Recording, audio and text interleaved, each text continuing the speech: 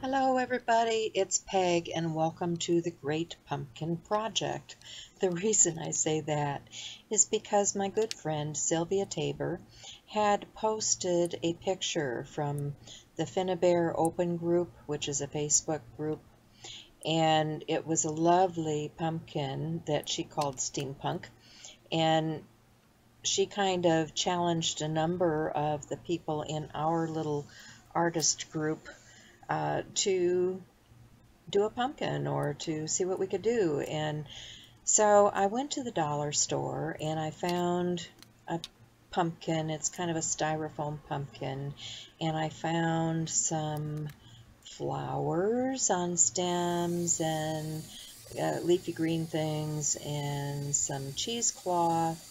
And I thought, hey, I can do this and I could probably do it for, I don't know, well, with the supplies from the dollar store, that was $4, and with the things out of my stash, you know, at least under $10. And I thought, well, you know, this is really doable. So I started with that pumpkin, and you can see I've coated it with the cheesecloth.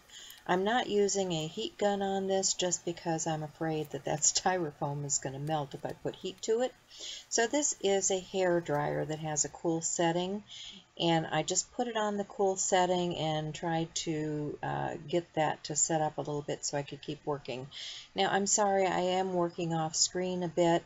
Um, I was watching as Sylvia, who I mentioned previously, and another good friend of mine, Heather Crafter, uh, were broadcasting live. Uh, Craft It Live is a Tuesday event show, and so I was watching the show and creating at the same time. And of course, you know, I, I don't videotape well that way. I don't, but I was getting my project done. And so, yes, I got off screen and I apologize for that. But you can see kind of the process. I'm putting, um, I didn't think that the coat of cheesecloth was quite enough for what I wanted. So I found some old lace, something uh, one of my friends had given me, and I'm just gluing a layer of the lace over the top of the cheesecloth. I think I'm using some um, dimensional adhesive of some type to put that down with.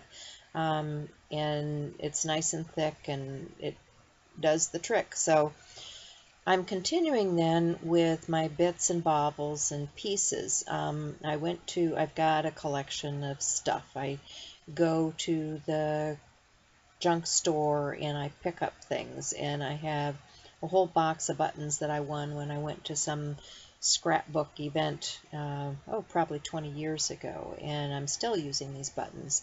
And um, some of those glass little baubles are things that I got from the secondhand store.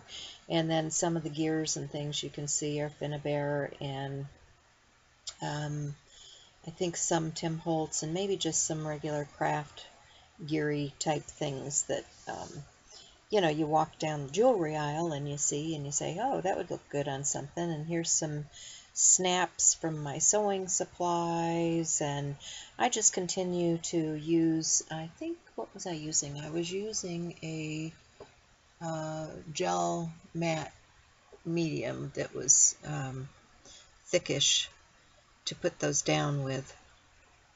And here you can see I'm coming in with some white uh, Faber-Castell gesso and coating everything um, just to unify and, and you know, get things covered up and ready to accept some of the other media that I'm going to put on here.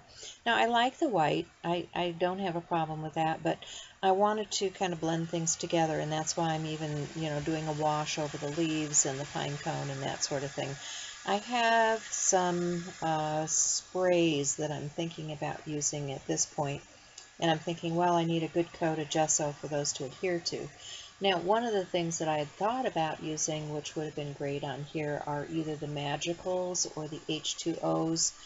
Um, those are also viable options for you if you choose to do something like this. You can see what I went with were the color bloom sprays, and I'm just testing colors out on a piece of paper now to see what they are.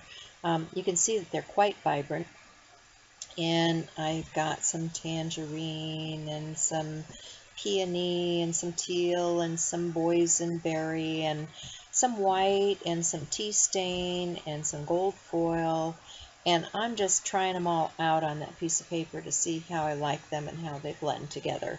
And I must say they're very beautiful. They have a lot of shimmer. Um, they're kind of wet on the paper there, so you can't really get the full effect of them. But now I'm going to go in on top of those flowers, and I'm going to start adding my sprays. And it's a blend, so I'll add a color, and then I'll come in with my hair dryer and dry that color just so that it kind of sets and doesn't run all over the place and it you just keep layering in that fashion. You put a color on. Um, I think this one may have been, mm, don't quote me, it might have been tea dye or it might have been the gold. But I wanted uh, to bring some of that in. Now that definitely is the boysenberry, you can tell by how vibrant the color is. And depending on how you squeeze the trigger on these uh, is how they come out. Now I didn't really let that one rip because I didn't want it everywhere and you can see I got more of a splatter effect and that's why I had to come in with a brush and kind of spread it where I wanted it. I do like the splatter effect. Um, actually, I may even come back in later with some uh, gesso and splatter some gesso on top just because um, I like that effect. It makes it look distressed and a little more worn. Um, I continue to work around underneath the leaves, over the leaves. Um, as things start to drip then, I'm going to get some paper towels out.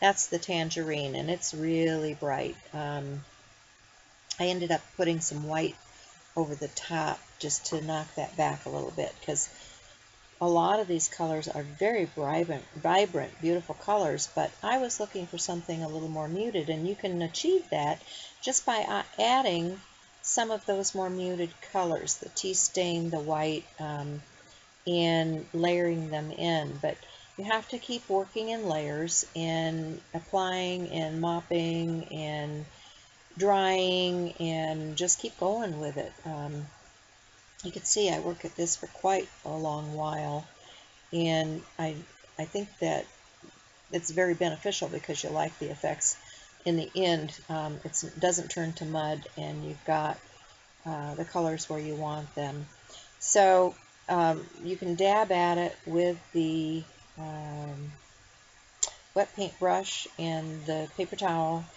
and come in and get what you want now here are some more leaves that are from the Dollar Tree and I thought well this might make a nice table piece so I'm going to spray it with some of those same blue sprays, bloom sprays, excuse me, to uh, unify those with the piece that I have. And then um, this is a uh, vintage butterfly that I want to add, uh, just kind of mimicking what was in the original piece that was the uh, designer piece that I was using for inspiration. I used some tea stain and some uh, boysenberry on that. These are some um, beads that I picked up on a string from a secondhand store and they just kind of add that little bit of bauble into the bouquet and I'm having a little bit of difficulty with that glue gun uh, wasn't cooperating, wasn't feeding the glue right. I was having to push it through. So you can see me fidgeting with that. I'm just trying to get things to stay where I want them to stay. And uh, yeah, well, that's the way glue guns are sometimes. So uh, I glued a few of those things in place where I wanted them to stay because they are kind of floppy. They will flop around a bit. So I thought, well, I got my glue gun out here. I'll just put them down and put them in place. So that's it, guys. That's the Great Pumpkin Challenge. I hope you guys make a pumpkin too. This was a great deal of fun, and um, I just enjoy doing this kind of work. So thanks for stopping by. If you like it, give it a thumbs up. Um, subscribe, tell your friends about it, and make a pumpkin. Bye now.